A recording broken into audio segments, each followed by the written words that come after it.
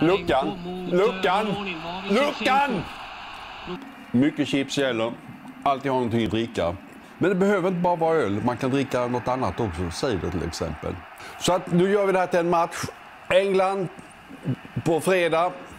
Frankrike på tisdag.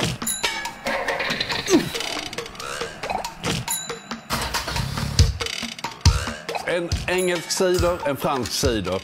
Och cider ska vara torr. Inte de här eh, ciderliknande, alkoholfria, förfärliga, vämjeliga sakerna som finns på, eh, ute i handeln. Utan det ska vara riktigt, cider ska vara torr som den kan vara i England. Den här är väl kanske inte den torraste. När jag provade den senast tyckte jag inte den var så himla torr. Och den här Franskan, den vet jag är torr. Inte sådär jätte, jätte, jätte torr, men den är rejält torr och man kan använda den till mat. Det vet jag, för det använder jag ibland. Och jag dricker det gärna till, till eh, camembert och sådana goda saker. Det var jättegott med fransk normandisk cider och camembert. Häller upp lite här också.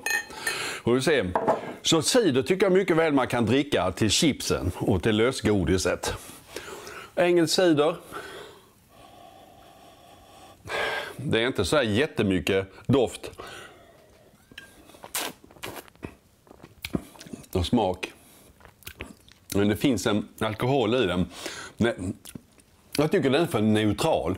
När man kommer till England i de här ciderodlande distrikten, Somerset och Devon och vad de heter för någonting kan man få sån här fantastisk cider som man känner de har liksom nästan skrumpnat de här äpplena och så har de fått jäsa och man eh, smakar, eh, man känner hur skalet smakar, hur kärnorna smakar. Det kan vara riktigt, riktigt gott och den är ofta stilla, helt utjäst, ganska kraftfull i alkoholen.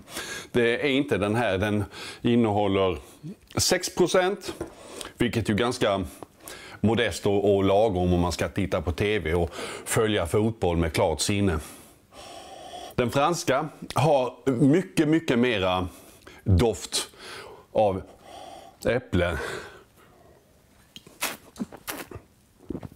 Mm. Och den är torrare och här finns lite av det som jag pratar om, här, att man ska känna skalet och kärnorna i den. Den är fruktnära och, och gott. Och det, det är en trevlig dryck. Det är ändå inte det bästa som finns, men jag tycker den är charmant och den finns på de flesta systembolag. Det gör den också. Så den här matchen. Engelsk cider, fransk cider. Där vinner Frankrike. Sen undrar jag hur det går med Sverige i sammanhanget.